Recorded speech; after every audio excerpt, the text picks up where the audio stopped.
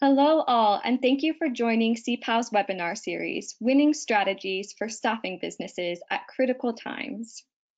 For today's webinar, Effective Styles and Strategies During COVID-19, Ceipal is joined by an all-woman panel to discuss what kind of leadership tactics are successful during these uncertain times. Of our 600 plus registrants, we have 62% women attendees and 38% male attendees. So welcome everybody. So before we launch into today's webinar, there are just a few housekeeping items I want to cover. First, each webinar will be recorded and available on demand through Ceipal's website. A follow-up email will be sent to all registrants with the webinar recording and any other relevant material. Second, we will have a Q&A session following this presentation. All participants have entered the webinar muted, so please enter your questions in the chat box and we will address them at the end of the webinar. And finally, we just have two polling questions we would love to launch before we begin. I'll run these questions now, so please let us know your thoughts. Please do vote, and then we'll begin the presentation. So our first question today is, which of the below changes will become mainstream industry practices, even in the post-pandemic era? So I'll give you guys just about 60 seconds to vote. Please do tell us what you think, and then we'll share our results.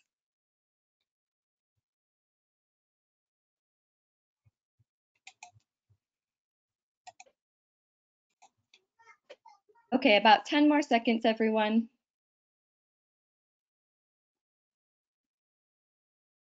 Okay, great. So for practices we think are going to become mainstream, 69% of us think work from home, and a very, very distant second, a 15% think that online interviews are going to become mainstream. So that's great. Um, we have one more question. Which of the below things should be a priority for staffing companies as part of learning from this crisis? So again, I'll give you guys about 60 seconds to vote. Please do cast your votes and then we'll let you know what you think.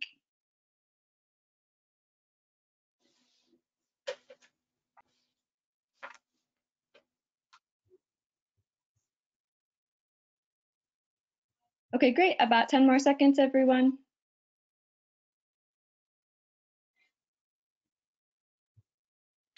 Okay.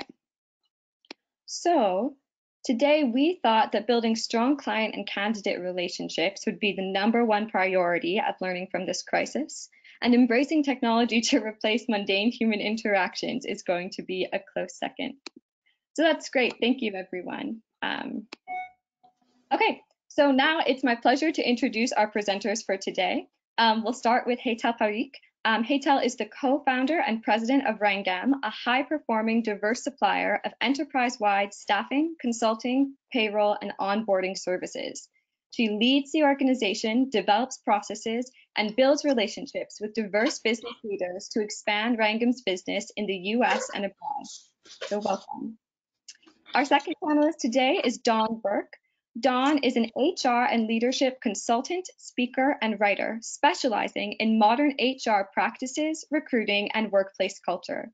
As a senior consultant with Recruiting Toolbox and founder of Dawn Burke HR, she helps companies create hiring cultures that connect, that connect with candidates while creating company cultures that connect with employees. Our third panelist today is Divya Pant. Divya is the director of HR at Ceipal as director, she leads all aspects of human resources, including talent acquisition, talent development, employee engagement, and employee communication at Ceipal. She has more than nine years of experience in human resources with companies like Deutsche Bank and Accenture. And finally, it is my pleasure to introduce our moderator for today, Ceipal's very own CEO, Samir Penakalapati. Samir started out with a passion to build technology products for small and medium scaled businesses. With time, that passion turned into a driving force to create products that had the potential to disrupt the conventional market trends as an investor. So at Ceipal, we'd like to welcome our all-women panel. We're excited to hear from such industry experts. And with that, Samir, I'll pass it off to you. Good morning. Thanks everyone joining the um, the, the, great panel. Um, I think the first time we have a 62% women participants. and looking forward. To, I mean, I know all of my, including myself, and I, in fact, I asked my wife to join the call, so maybe she'd be around in it. So it, it's great to hear uh, your experiences and insights. Uh, it'd be a, uh, it's an awesome opportunity. Um, uh, just a quick, um, I have about five to six questions. Um, would like to keep up 60 to 90 seconds, one to one and a half minute answer, um, so that we can able to circulate many questions. Also, uh, last time we were we kind of ran out on uh, the participants questions. I know would like to address at least a couple of them um, and quite often we distribute later uh, if we have more than a couple. Uh, but i'm going to start with um, the my first question. I think it's just um, kind of a generic in your experience. Uh, I, I, the way i go with it i go with it donna and then Divya and then go to Hetal. So just to rotate that um, uh, cycle. Uh, my first question is Dawn, Donna, in your experience, how is COVID-19 changing today's workforce? How many of these changes will become permanent? Well, COVID has been what a lot of people have coined a black swan event, an event that nobody saw coming. Nobody even, it was almost a failure to imagine that this sort of event would happen to anybody, let alone something globally. Um, so when I've talked with clients, when I've talked to my HR peers, when I've talked to engagement strategists, I think the first thing that it's doing to employees is it's definitely putting into their their their thoughtful consciousness uh, uh, the possibilities that safety can be compromised at work. Um, and we're not talking necessarily about, hey, let's be sure you don't slip and fall where somebody just mopped the floor. No, we're talking about um, life and death safety issues across a wide expanse of organizations. So it's the first time I think ever where employees really are flipping the switch on how are my companies taking care of me? How are companies, um, are they listening to me? Are they taking seriously my concerns, not only for my fellow workers, but for myself and my family? Um, I think they're also now, employees are much more in tune with seeing how their companies are reacting to this type of a crisis with their customers, their communications, um, and and if, if companies are not being transparent, are not seeming to err on the side of humane practices, uh, treatments, uh, having types of things where they're transparent with uh, the different things they're doing or experiencing. I think it is starting to become top of mind for employees to say, there's got to be a better way for me to spend my days uh, that organizations that aren't seeming to get it or understand or want to help me thrive as well as me help the company thrive. Um, I think it's just an awareness right now. Um, and I'll let the other two chime in on. There's so many. I mean, there's 17 things that I could list, but I think it's just an awareness right now is the big change you're going to see with employees. Absolutely, and I think it's almost going to be a pre-COVID era, post-COVID era situation in, mm -hmm. in awareness. Thank you for sharing that. Yes. I'm going to, to look at, you know, ask the same question about um, how mm-hmm. the COVID-19 changed the today's workforce and, you know, how, how, what are these changes do you see it's going to be like a long-term? Right. So, uh, you know, in my opinion, COVID 19 has had a significant impact in the way organizations work. Um, employees have now become uh, more tech savvy, uh, more flexible and um, they can now operate with uh, you know almost minimal or no supervision. So um, yeah technology has been a major lifesaver during this time. Also you know video conferencing e-learning e-onboarding and uh, you know various other tools have made work from home a real success. So technology is obviously there to stay. Um, in fact we can expect crazy innovation in this field. Um, another significant change um, would be in uh, you know people's attitude. Uh, people will be more receptive towards change now. They will be more collaborative and um, leaders will become more empathetic. So um, yeah uh, we can expect a better and a more resilient workforce in future. Yeah. Thank I mean, you I, that, that's very true. That's very true. And um, who would have thought uh, uh, zoom um, the valuation be four times of all the other, um, uh, you know, the um, uh, the automakers measures combined. it, it's a crazy times, but technology is going to stay. Um, Hetal, I'm com- coming back to you. I'm going to uh, ask a question. You know, how is COVID-19 is going is changing today's workforce, and in your perspective, what's going to change uh, long-term permanent? So I know the uh, two wonderful ladies touched upon uh, two things, which is safety and technology, uh, which is definitely on top of everybody's mind. Safety is on everyone's mind. Technology really helps enable us to be productive. Uh, and what COVID has really taught us is to be resilient, uh, thinking outside the box, being innovative, doing things that we normally wouldn't even think about uh, before or even hesitate. However, it's really forced to us because of the circumstances that we're faced with and all the different uncertainties that we are continuously being faced with each and every week as we uh, walked through the journey in the past couple of months.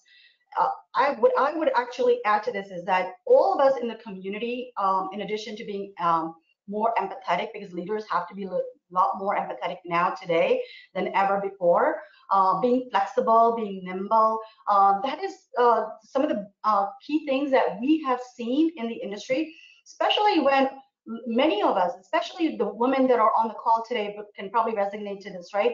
That when you're working from home, now you're really not just working, you've got multiple hats to play.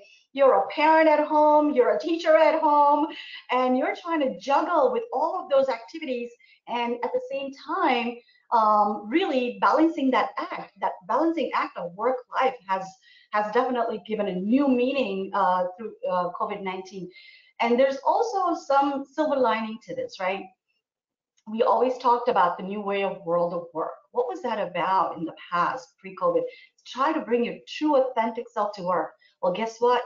COVID has really helped us to bring our true authentic self to work. We're more, um, I would say, uh, tolerance in a lot of the noises, the frictions that we sometimes hear on the Zoom calls, dropping off the calls, um, having some background noises, kids passing by. So there are some silver linings. Uh, at the same time, is how I like to look at things, is to see how we can grow and learn from some of these experiences. And some of the um, learnings will be here to stay uh, post COVID-19. Uh, some of the activities uh, will uh, will continue. Uh, and it'll all depend on individuals and, and, and, the circumstances. And some we may go back to the old ways. So when I asked my team members, um, they loved at the beginning, uh, wow, we're gonna be able to get, you know, work from home. This is fantastic, 100%. Now, if you ask them, they're dying to get back to the office. So that these are some of the things that we're experiencing. Thanks, Hetal. And we get the same sentiment. In fact, I was just uh, reading a poll uh, done by Glassdoor yesterday. There are about 69% women are waiting to get back to work. Uh, about 72% of the men are waiting to get back to work. So, I mean, you definitely resonate at that point. Yes. yes. Uh, thank you for sharing that. Um, I'm switching our gears a little bit um, towards we talk about um, you know the perspective of the employees, their safety, the technology, and, and different things and i think we do all of that stuff really to drive how do we engage especially when when when we i think we're all seeing that uh, more often i think we'll have a remote workforce than we have seen a pre-covid situation scenario. So uh, to address that in an increasingly global workforce work, remote workforce right employee engagement is more than ever because you know our interactions may not be direct uh, um, uh, personal, but you know through uh, calls. What strategies are you implementing to foster successful employee engagement? And I start with Dawn. Sure. Uh, well, employee engagement. One of the things that I find fascinating when people talk about employee engagement is they try to complicate it. Um, I always think when it comes to employee engagement, don't overthink it make it simple, make it accessible. So what do I mean by that? Um, regardless, I think pre-COVID or post-COVID, the best strategy to engage team members, period, point blank, is through creating a better system for leaders to have one-on-one conversations with employees, whether it's the team lead to the employee, the CEO to the group. Um, creating a culture where having these types of interactions become the norm, um, where conversations are not just about status updates on work, which are important, but it really is about how are you doing? How can I help you? Where are you strong? How do we leverage that? Are you feeling safe? Are you secure? How can you help me? And, and I'm going to kick it up even a bigger notch. There are some companies pre-COVID that began doing this, these sorts of things regularly because I think everybody on the panel would agree. The concept of creating engaging workforces really started to take shape with the, when the millennials came on board. All right, we already know that creating an engagement workspace wasn't just a nice to have, it was something that you have to do for great results and because it's the best thing to do. It's a better way to work. Again, let's not overthink it. Why wouldn't you want to talk to your people and make sure that they feel good and okay and they can produce results? Because we know that those sorts of practices are better for the company's revenue. All right.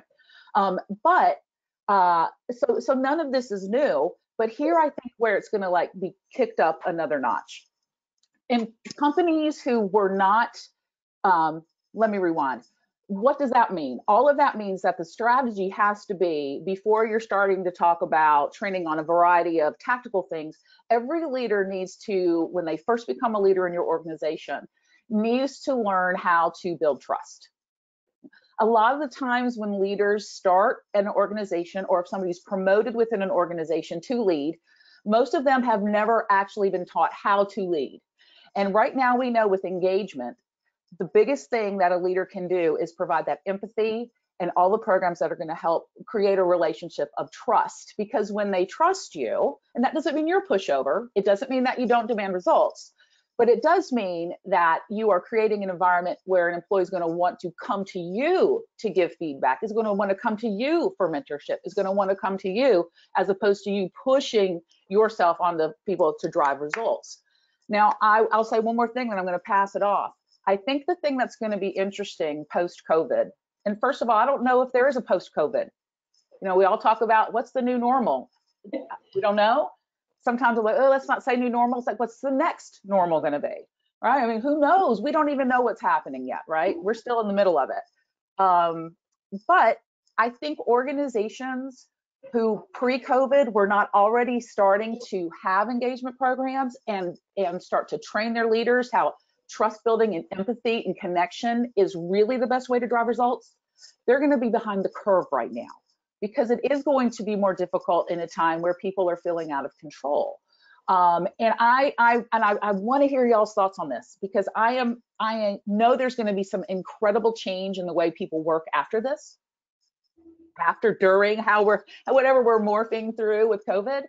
But I'm, I'm, I'm still, I still think that once things start to even out a little bit, I think that there's going to be a lot of leaders who are driven by high dollars and money and goals and stress will retreat back to the way it was.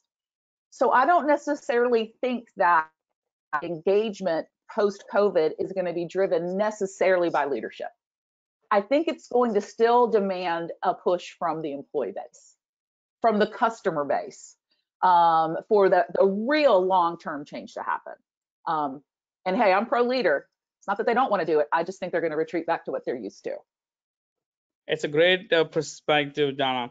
Especially we're talking about the trust and empathy between not just not the one side of it is, you know, from the leaders to the employees, but from the employees back into the leaders too. It's a two-way stream and i you know I, I, we totally agree with that it's a great perspective thank you for sharing that and um uh, divya come back to you. Um i know you have a um well-run uh, hr organization um uh, across the globally. So what have you seen uh, the pre and post covid employee engagement practices and and and uh, your insights? Uh, so I so much agree with Dawn when she says that you know employee engagement is you know all about communicating with their employees. So that has not changed. It was there pre-COVID. It is there now. Um, so um, also um, it is about you know understanding people's aspirations. You know providing opportunities in line with uh, their aspirations, um, you know, rejuvenating them, you know, providing learning opportunities. So mm, at Ceipal, obviously, we are in constant touch with our employees through uh, one-on-one connects, webinars, etc. Uh, we try and keep them updated about, you know, the policy changes, if any, the upcoming activities, you know, the company goals and objectives, and so on. Um, we also keep having regular fun activities for them, uh, especially uh, on Fridays, you know, just to raise their spirits and uh, increase uh, interactivity. Also, our, you know, L&D team made uh, good use of the uh, available time in training and retraining our employees on the product and also organized some behavioral trainings. So that worked out well for us. Yeah. Sabir. Thank, thank you, Deva. I mean, I, I when I uh, sum up um, your conversation, you're talking about it, keep the more employee communication more frequent, and the learning and development is also a big asset, uh, especially when you are dealing with employees. I think it's going to stay, uh, it's going to stay for for a post-COVID scenario too. Thank you for sharing that. Uh, Hetal, um, I know you run a great organization. Um, uh, across different countries and, and different uh, market segments. Uh, so how, how do you see uh, the the pre and the post COVID um, scenarios in terms of engaging employees, employees and improving the employee engagement? Um, have you seen going to uh, uh, going to at least see a, a significant change the way the some of the policies that you lay out for the business and and I would love to hear anything in that perspective. Sure, sure. So um, at Rangam, core philosophy is empathy drives innovation. And engagement, um, how we used to engage before and how we engage now has uh, definitely dramatically changed uh, due to technology. But there's been a different level of com uh, comfort that people are, have now stepped out of their comfort zone and craving more for that extra communication. So one of the things at Rangam, what we do is uh, we emphasize on providing uh, communication, having platforms, creating a structure and a format where people come together more and more and have discussions around certain activities, brainstorming, really providing their perspective on any areas. And what that really does, I feel that uh, usually in, uh, everyone is looking for ways where they can contribute. And if, if they're felt like they're being valued within the organization, you're going to see an increased level of engagement. Um, and at, at that is pretty much um, during COVID, what we've actually done is really uh, created certain special focus group areas uh, uh, in certain specific areas of, uh, let's say, functional uh, of our operation, whether if it's how do we engage better with our uh, business partners? What do we do in terms of our technology innovation? So we're bringing different folks from different department, different groups to come together and almost like do a design thinking process. And through that process, uh, there's some great ideas that come about, uh, and they get all excited because now it's something that they brought forward to the organization, and it's going to be really heard and listened to by the leadership team and by the management. And some things might transpire, some things may not transpire. But during these periods of time, I think that has really helped our organization to increase the level of engagement. Um, and as management, we want to lead by examples, right? So we, for amongst ourselves, how we uh, communicate becomes critically important. But with all of that, keeping in mind that what's really required is to, uh, I think Dia touched upon that, is having some fun activities.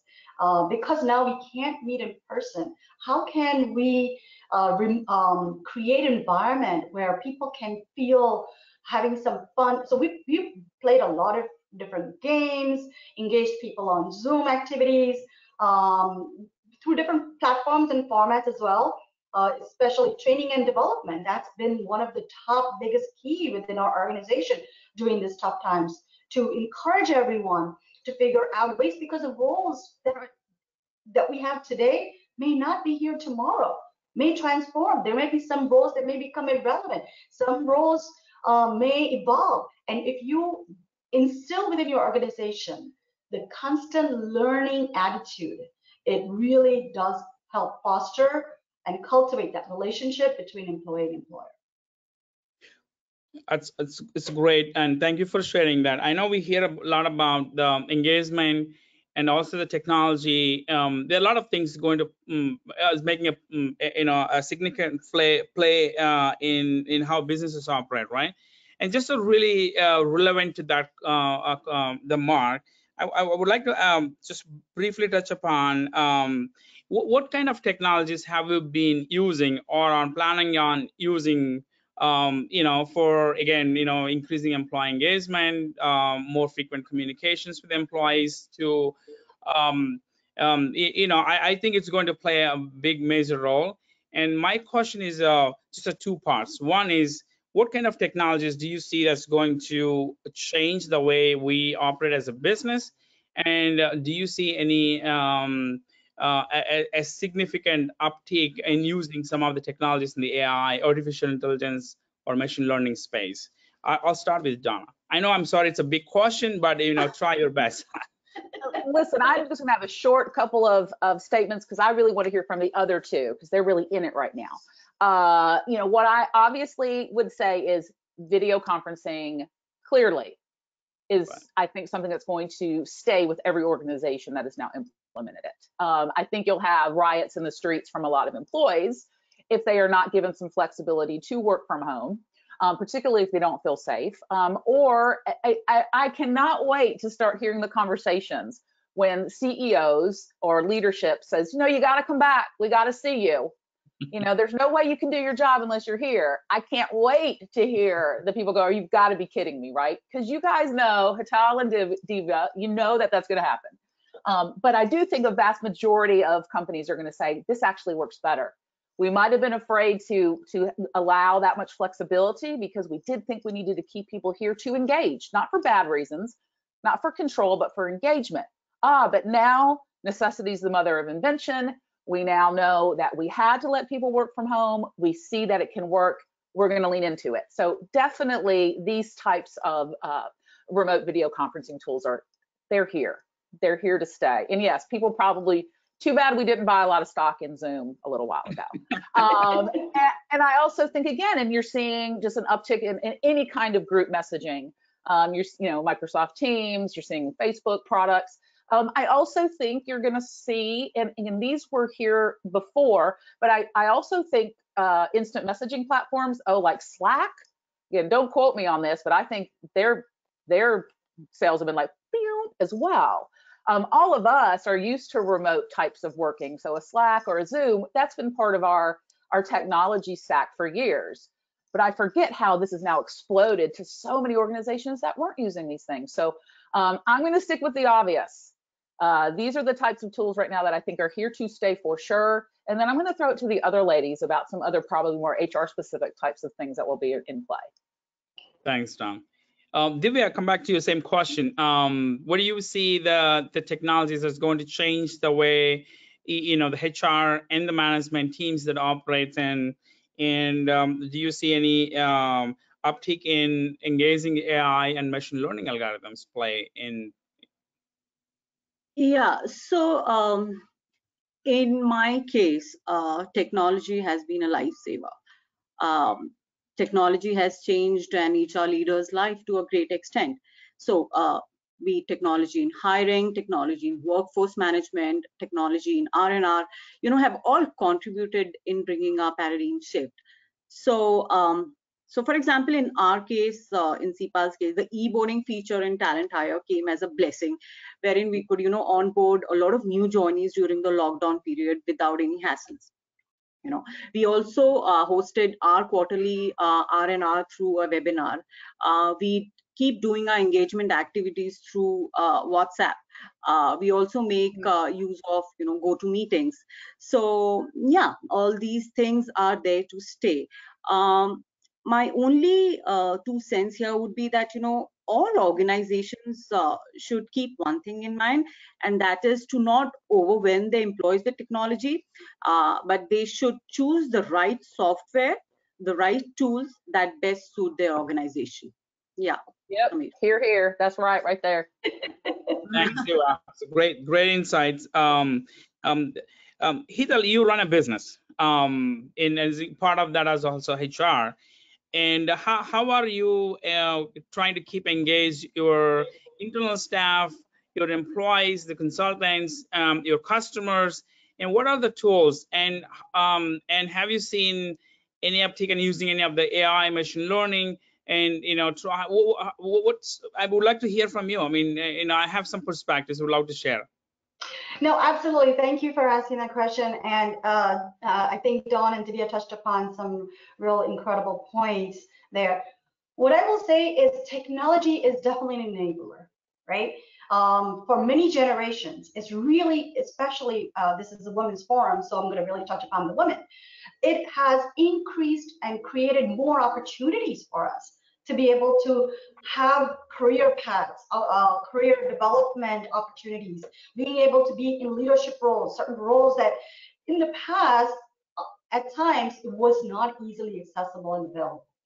And with that, what we at Rangam are really uh, passionate about is diversity and disability hiring initiatives, right? So we focus a lot in that, and that's one of our niche areas on making a, that connection of the job seekers that are highly skilled, talented individuals with corporate opportunities and really figuring out how we can increase our, those opportunities and reducing the number of percentage of unemployment. So oftentimes we'll see one out of five people uh, that we know in the in our in our uh, community has either visible or invisible disability, and almost only 30% of them are employed. And this is a statistics post pre pre COVID. Amidst COVID, can't even imagine what that number must look like, and post COVID as well. But what I will say is our experience in this area, because of technology and how technology has advanced and evolved, uh, the usage of Zoom activities, Microsoft Teams with the transcribe capabilities, it's really increased uh, uh, and created a level playing field for many of us with different abilities, different availabilities, different uh, skills, different talent. Uh, so Samir, to, to answer your question, yes, AI is getting incorporated and automation is always going to happen. Uh, and oftentimes we do experience, we see that innovation, it takes sometimes a long time to adopt um, some new creative, innovative um, productions, innovation that happens in our industry. And within the staffing industry, we see technology being leveraged quite a lot. And what COVID, what I anticipate seeing is really how do we uh, how do we really focus more on treating talent like a human and not a commodity? So technology and AI, what that's really going to do is enable our organizations that focus a lot on helping people get back to work, especially for the COVID. That's one of our focus area. How do we help all of our workers, all of, of all of the talent, amazing talent, get back to work? These mandated tasks that's involved in this process will be automated. AI is going to assist us in that area and allowing us to focus more on individuals' abilities, understanding what are their passion areas, what is their dream career, and helping them to move along do, for those particular positions in creating opportunities for them and being a true career advisor and advocate. True career advisors for the, for the talent and providing a consultative approach to our customers to help them to understand and learn where do these skills exist and how to identify them, how to bring them on board, how to connect with them. So for our customers, the biggest thing on the mind today is cost savings, right? We always hear a lot about how can we reduce the rates, how can we, um, you know, uh, save save uh, save cost. Well, if there's going to be efficiency within the process, you're automatically going to have cost savings in that area. You're going to have reduced turnover. You're going to have increased productivity. You're going to have a more engaged um, employee base, more diverse workforce that brings in different perspectives. brings in innovation, and that's what we're all about today. Innovation uh, through COVID, we're experiencing is, is actually a fast, accelerated mode. We're innovating every single day. Each and every one of us, uh, our uh, mindsets have really transformed and changed. And it's not like the way it was before uh, uh pre-COVID. So um, that's what you know what I will share with you. That technology is definitely going to uh, evolve. Auto, uh, automation is going to be there, but it's going to be for the good. Thanks, um, thanks, Hetal. Um, I just want to add a, two quick pointers to all of the great pointers you've already added. One thing, you know, I just um, uh, was in uh, discussions with um, some of the tech forums in the in the recent times. They're talking about um, using AI machine learning in in doing the people analytics you know. Is this a good hire? Is this a right hire? You may you know the the the, the candidates may have enough skills but do they have a fitment skills? Do they have a fit? Because now we're doing more and more remote. How do we because we're not interviewing in person a lot of uh, people are actually onboarding uh, interviewing remotely but how do we ensure that so I, I think that trying to fill some of those um, missing physical connection with uh, um, with the technology analysis, the people analytics platforms and stuff. It's an interesting, which gain a lot of momentum in the last couple months. Um, though these technologies exist uh, for quite some time, that people haven't seen that much need. Hey, you know what? I'll bring someone in person for an interview now. They can do it, and there, I think, you know, so things have changed definitely, and the technology is playing a big role. And thank you for sharing all of your insights. I'm actually trying to make a completely U-turn here because you you have an amazing experience you build careers out of this and i have we have as we talk about 64 percent 62 percent of our participants are uh, women they are starting their early careers their mid careers um, entrepreneurs and uh, and want to be entrepreneurs right um, they, they want to be uh, become entrepreneurs so they are all we all would love to hear from you um, i'll start with Dawn what do you see the greatest strength of female leaders? Oh, I'm sorry, I, have changed this. Um, what advice do you have for women starting their career? What are, advice do you have for women in leadership positions like yours? Um, I think a better way for me to frame this would be what was some of the some of the challenges I had. What are the, the hard lessons that I learned? Um, I think the biggest obstacle I had in my leadership career and I'm going to do a level set here. First of all, women, men, whomever, if you want to advance in your career, you've got to work hard. All right, so let's just put that out there. You got to work hard. You got to want to constantly learn. You want to um, be able to own your faults, and and you want to be able to produce. These are things you must do. All right, there. The level set is there. There's the disclaimer. All right. So now when we talk about though me being a female, uh, the biggest obstacle I had in my career was myself my own self doubt. It wasn't even conscious. It was who I was. Uh, imposter syndrome.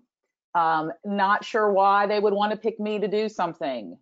Then I'd have to go. Now, when I look back, I was like, what a bunch, what a waste, wasted amount of mental energy. Um, always thinking about, well, why me, as opposed to, well, well why not me? Um, I think that a lot of women in the research I've done and folks that I've talked with, uh, women leaders, they've struggled with the same thing. This coming into a space already mentally feeling they're they only mentally have shrunken themselves down because they're just glad to be there, even if the male counterparts have done nothing to make them feel that they're not welcome. All right. yes. Now, rest assured, there are male counterparts and female counterparts that sometimes don't want you there. That's a whole nother bottle of wine conversation, right? But I think when I look really, when I look at my my career, and I think I was my biggest obstacle. Um, and uh, and I'll give you a, a, brief example of when I finally realized um, that oh, Dawn, you got to you got to change this, and it was a little too late. Um, when I started at one organization I was at, and it was in an executive leadership role, I really was. This was the first time I had been in an executive leadership role. So I was just so glad that uh, thank yeah, I was I was very much in, and I believe this is still good. I, I want to learn, you know, before I start, you know, telling my thoughts and how things should be done. I, I need to learn and you know, I'm going to listen more and talk less. All that's good to a point. Again, we're talking about if you're already in the role. And um, I I had way too long of a ramp up period of me being in the I'm going to listen and learn mode. Um, until then, it was almost too late because then I realized, wait, I don't know if I'm being as heard as much in this particular role. I'm respected, but I'm not heard. And I said, wow, a new VP of sales just got hired.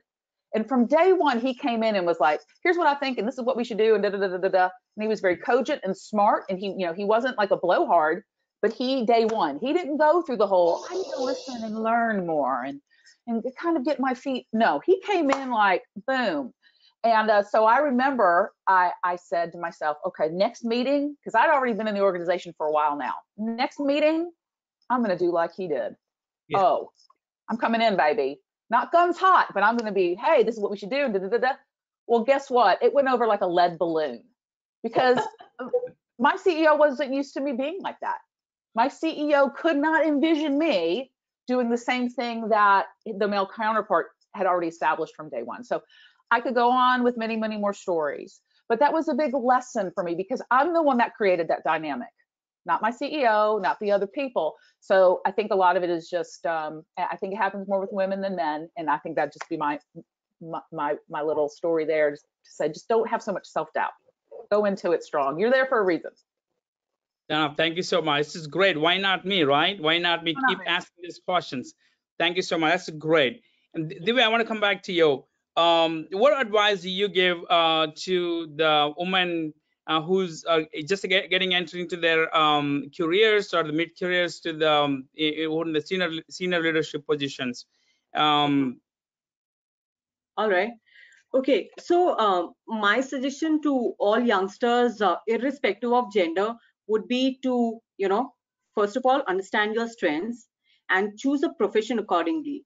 Uh, you got to look for opportunities and not money because good opportunities will create money. And let gender not be a barrier in following your passion. So this would be my advice to youngsters.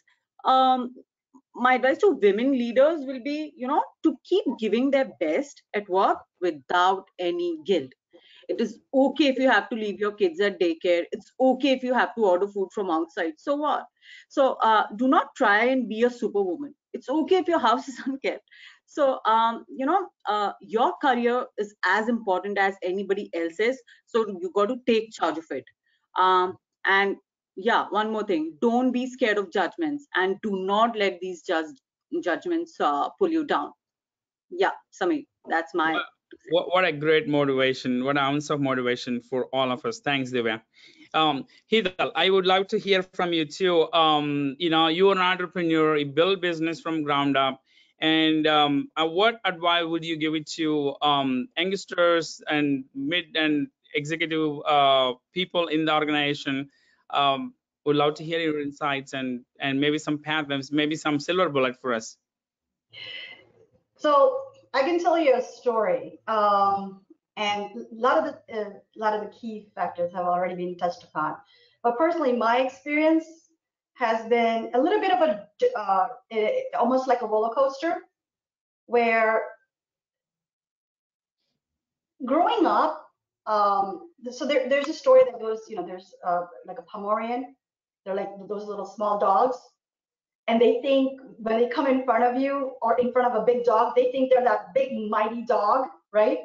They don't realize the size, but the confidence that they have in them, that power that they feel that they can do anything, that's what we can all, you know, instill in ourselves. Be that strong person, be confident. Um, so in my career path, uh, growing up, uh, I, I don't think I ever felt that there was anything that limited me because I was a woman. Um, I was I, I was in engineering school. Oftentimes, I was the only woman in the class, uh, surrounded by uh, all male, and I never it it never occurred to me uh, that I'm the only male. So I felt like that little Pomerian where you just don't see yourself any different, right? um, so However, but when you get into the real world, things are a little bit different. And as women, our, our basic nature is nurturing, empathetic.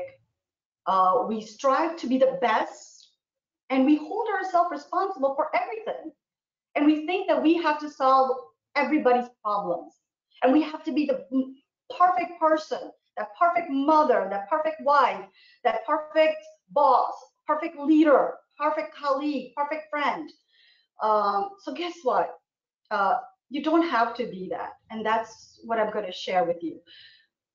It's okay to fail, um, and it's okay to allow others to pick you up. Uh, and that's been uh, my experience where I've been surrounded by some amazing individuals, including uh, friends, uh, coworkers, teammates, uh, some of the, uh, I would say in the industry, I've had some amazing mentors. So surround yourself with people who are your well-wishers, who's going to inspire you, who's going to motivate you, who's going to push you above and beyond what you think you're capable of. Um, and then, again, most important thing that, I think Divya mentioned is follow your passion. Follow your passion and the dream, and don't let anything limit yourselves. Thank you, Hetal. You know, um, I, I this is a I hope this is not a controversial question, but I'm going to ask it either way. I think it's, it's um, I would love to hear from your perspective um, you know, we have seen uh, during the, um, the, the whole crisis and pandemic and the COVID-19 situations, uh, you know, you know, the countries led by women leaders are fared way better than the counterparts, the men leaders. And there may be some reason for. I really don't know. I'm looking at Germany, looking at um, Iceland, and many other countries. So, what? I mean, I'm start with Dawn. Um, what are the major differences between men and uh, between male and female leaderships. And why uh, our female leaderships and especially across we have seen are are are better and more progressive. And i would love to hear your comments. Oh i'm nervous. So um you know I, am I'm, I'm kind of shooting from the hip here. I wish i had like some empirical data to, to say why. You know i will say um, there are as many different uh, female leadership styles as there are men. You know, I don't necessarily think, I, I definitely don't think one is better than the other. There's so many components that, uh, you know, internal, external, uh, things that are within your control, outside of your control that make up how you lead. But I do think that uh, Hetal already, if we're going to talk stereotypically, or what tends to be a big differentiator between men leaders and female leaders, is I think the DNA of the the, the nurturing, that, that DNA chip of empathy and nurturing. Um, so I, I, I think that in most cases that is a big big pro.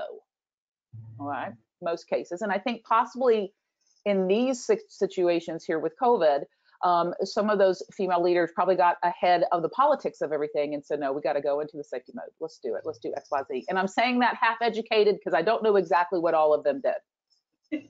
I know that they got big press on doing the right things, correct, but I don't know what they did. So there we go. So um, that said, you also have to, um, I think women also though, and if you read any of my stuff, guys, I'm big on the empathy trust thing totally that is changes the world for leadership any any gender. Um, the thing though is that you have to be able to understand um, the role empathy plays in building trust so you get results because you can be the most empathetic person in the world. But if you're not able to still um, harness that empathy as something to help you make decisions inspire people get results then you can just become a pushover it's very difficult to then kind of put a line in the sand and then move forward with now that I've heard people from an empathetic point of view, how do I then now move forward in taking a stand in leading a movement and and um, communicating a message that incorporates the why, which is usually based on listening and empathy. So I've gone around the world here. I went above and beyond your question. Um, um, but but that's that's just my initial thoughts uh, regarding the the main differentiator between women and men leaders. Thanks, Donna. I and, and I, I've, I've read a few articles on, you know, you're definitely a champion of empathy. There are a lot of things that, um, uh, um, you know, Satya Nadella, the, the current CEO of Microsoft, talks about uh, how empathy changed its organization to the current Absolutely. form. It's not so much of, uh, you know, the the style and the policies, but really how he drove the organization on basis of um, the basic principles of empathy. It changes so much. You know he increased the market cap three times of the uh, the microsoft in last five years. It's so powerful. Thank you so much for that And what we're seeing now, like with Facebook, for instance, a lot of people right now, although there's some cool stuff that Zuckerberg has done in the crisis, like they're starting to say people, we're going to hire people from anywhere now, a lot more with remote. But right now, he is the perception that he has an, a lack of an empathy chip uh, with his employees regarding um, his ability to communicate his stances on uh, monitoring violent posts. Yeah. And people are starting to quit. So that's where you go. There has to be this balance between empathy and business sense.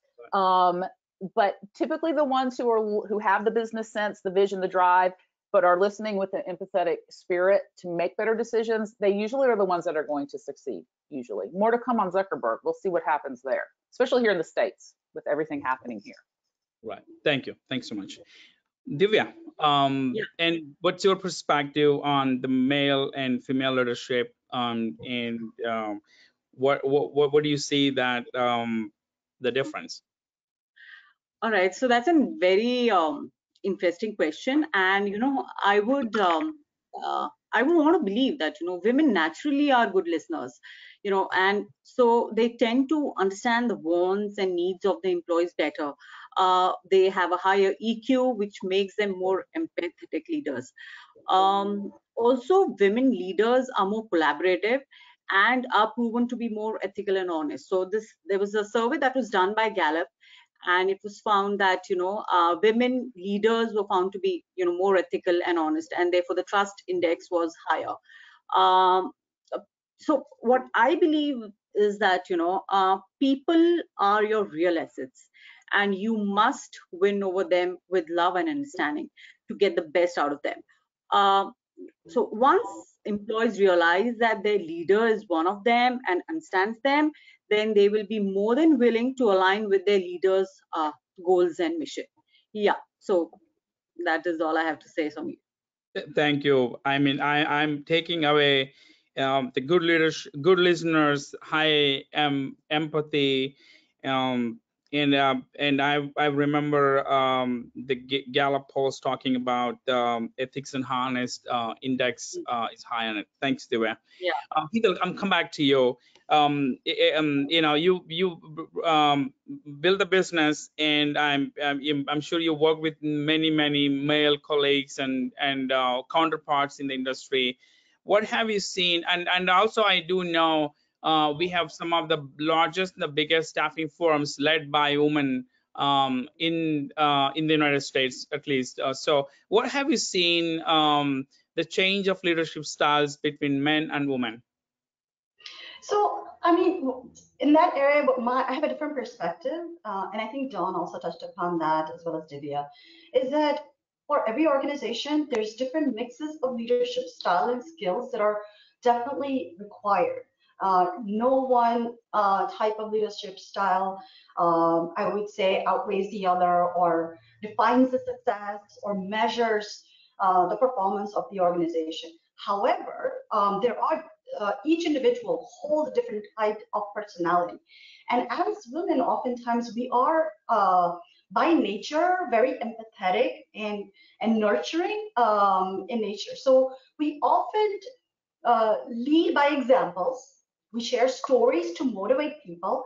Uh, our own personal stories we'll share, our own thought point of view, and we'll ask them what are their thoughts what did they think Do, Mhm. uh, getting that buy-in from them i think that oftentimes really uh, becomes the, a little bit of a differentiator uh, in, in, for women leaders as when they're leading some of their, their organizations and that level of um, tactical as well as I would say um, the, uh, the, the process of the results in our brains and our minds. I think we go through that methodological process that we can see each step of the frameworks, what should happen, what should not happen for, for the type of results that we're looking for. Um, that does definitely drive the way we often lead our team and, and, and our organizations. Thank you, Hetal. That's um, that's great, and um, I know for all the success, as we all mentioned, Donna and Hetal, you and Divya talk about. I think it's a it's a combination of uh, um, the leadership styles that um, it's not just the one or the other one better than the other. Um, it, it's a it's a collaborative, um, common goal approach in the leadership. I think it wins the businesses and wins the people's personally. Um, we have um, spent almost an hour. I think it just went by you know in a second.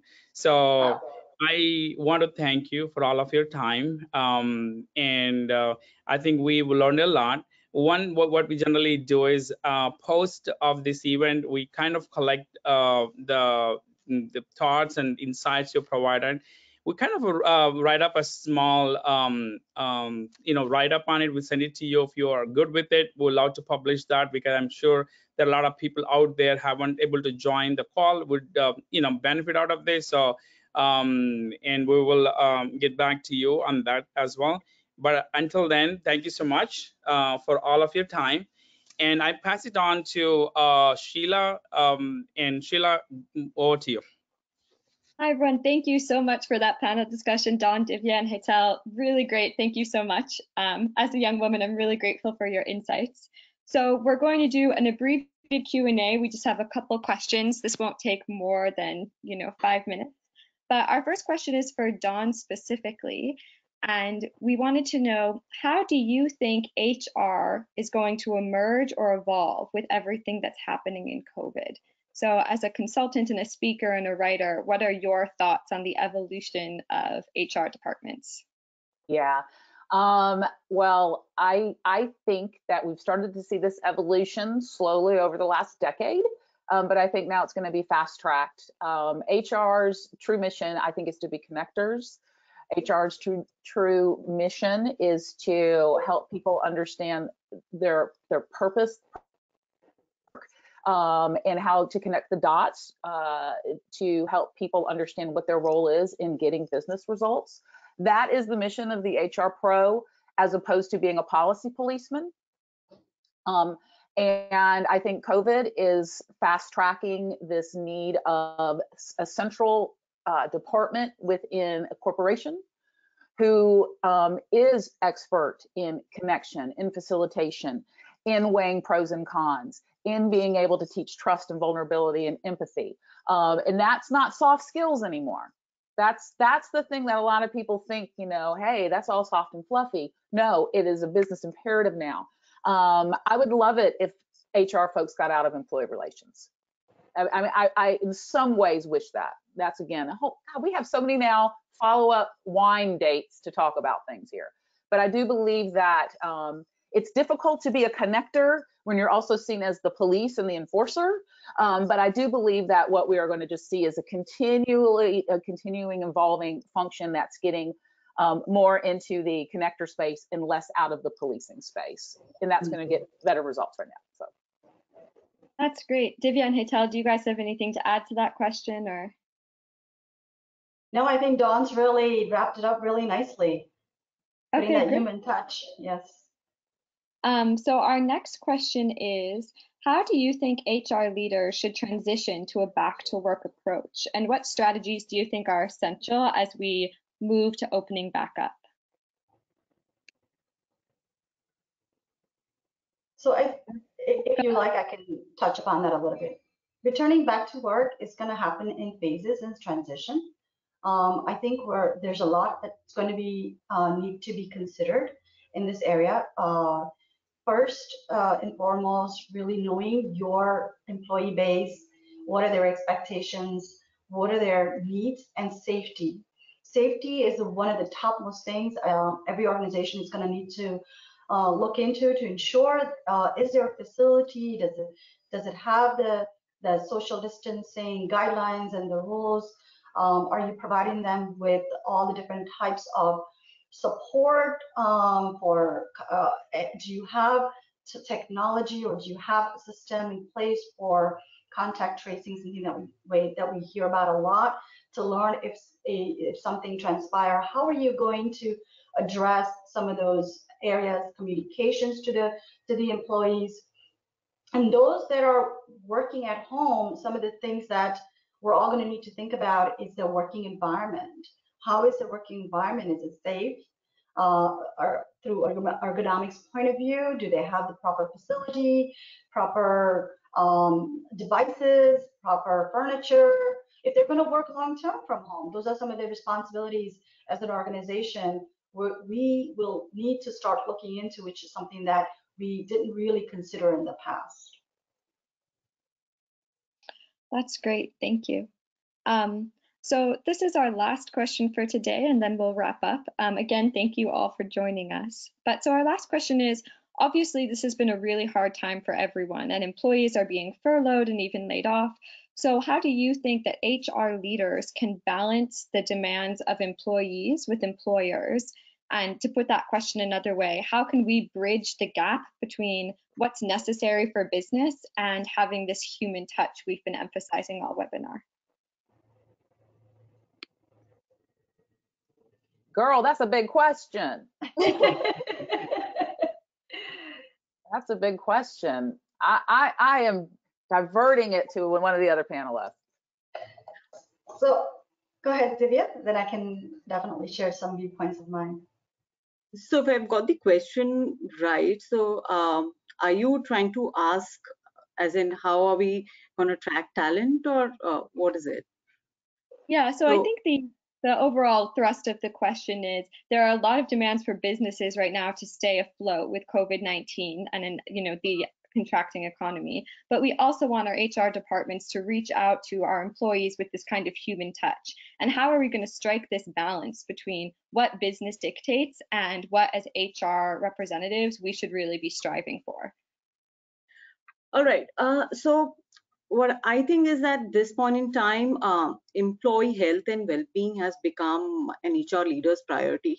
So as uh, Hetal said earlier, that you know, if we are planning to get back to work, we need to make sure that you know our uh, you know the the premises, the office premises, um, the workstations are all clean, hygienic. We provide all the necessary uh, you know hygienic um, equipments to our people, um, and also at the same time, uh, uh I understand that you know it's the economy has uh, gone down drastically and you know uh, we need to uh, keep up with the pace uh, but um, at the same time, um, as I said, um, employee well-being will be uh, my focus as an HR leader for now.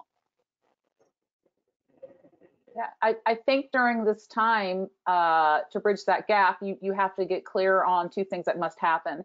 Um, during times like this where people really don't feel in control, whether you're a leader or employer and HR pro, because we don't know what's going to happen next, is a time where you have to um, create feedback programs, ways to hear people, ways to connect with people, ways to alleviate fears, ways to get feedback from how do we solve some problems. And then once you've gotten all that feedback, then you make decisions. And you need to execute those decisions clearly, calmly, and make sure everybody is on the same page on why a decision's been made. Now, I think the first step, though, is very important uh, because um, if you don't have ways to then have people be heard about the things, their fears, their ideas, their solves, things they want to test, and you just come out with a plan of what we're going to do, um, it, then it can feel a little dictatory.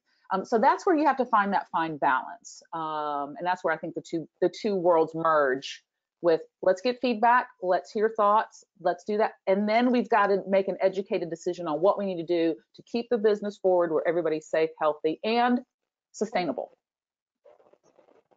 Definitely. That's great. Um, I think that's all we have time for today. So again, to our panelists, thank you so much. Samir, thank you for moderating. Um, for all of our attendees, this webinar will be released in a follow-up email um, along with a summary. So thank you all for attending. Stay safe and see you next week. Thank you guys. Thanks. Bye.